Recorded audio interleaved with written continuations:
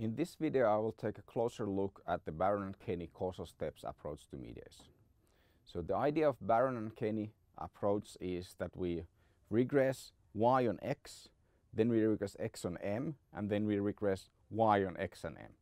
If all these regressions demonstrate significant relationships, we conclude that there is mediation. If beta y1 is non-significant, we conclude that there is full mediation.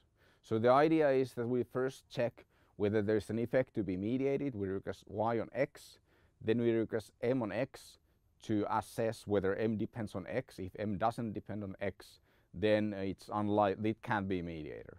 Then we regress uh, y on m and x to see whether it's a full or a partial mediation.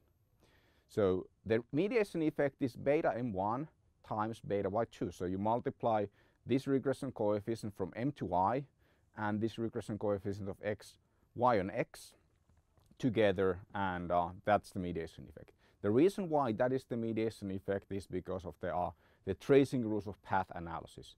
When we have the full mediation, the mediation model as a, uh, a, a bigger path diagram, the way we get from x to y is go from x to m, so we get beta m1 and then we go from m to y so we get beta y2 there and we multiply them together because we multiply everything along the path. So that gives us the mediation effect. One problem with the mediation effect is that uh, we need to calculate the standard error and that can't be done using the techniques that I've discussed before in, in uh, the model testing part because this is a product. So beta M1 and beta Y2 their product is, is non-normally distributed. And calculating the standard effect, standard error requires that we make some kind of assumptions about the distribution of these two, two effects. So uh, there is a, a, person called Sobel who proposed that we use this kind of formula for the standard error of the mediation effect. So that gives us the, the, standard error. It's called a Sobel test and there are different variations but they generally produce results that are very similar to one another and that gives us uh, a way of assessing how precise the, our mediation effect estimate is and also test whether that is zero or not in the population. So it allows us to calculate the t-statistic by dividing the mediation effect with this standard error and then we compare that against the t-distribution. That approach has another problem and the problem is again that this product can't be assumed to be normally distributed because uh, the product of two normally distributed variables is not normal. So uh, some people say that that's a severe problem and it is in small samples this uh, using this approach can be misleading. So that how, how can we uh, deal with that problem? Some people propose that we use something called bootstrapping.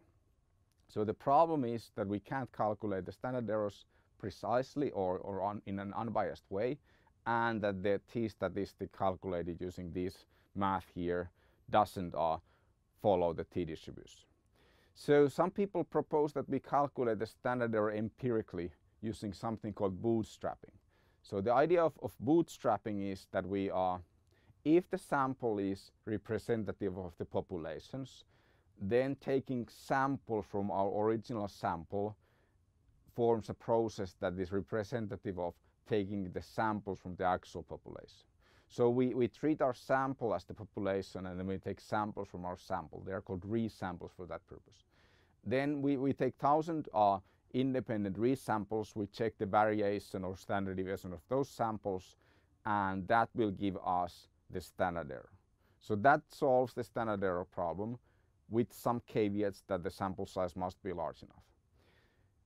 That doesn't solve the problem that the ratio of mediation effect and its standard error is not distributed as t as it's supposed to be because this is a product.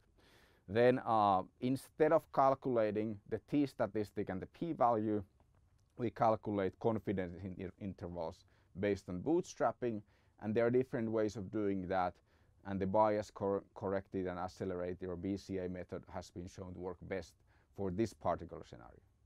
I will talk more about bootstrapping in a separate video.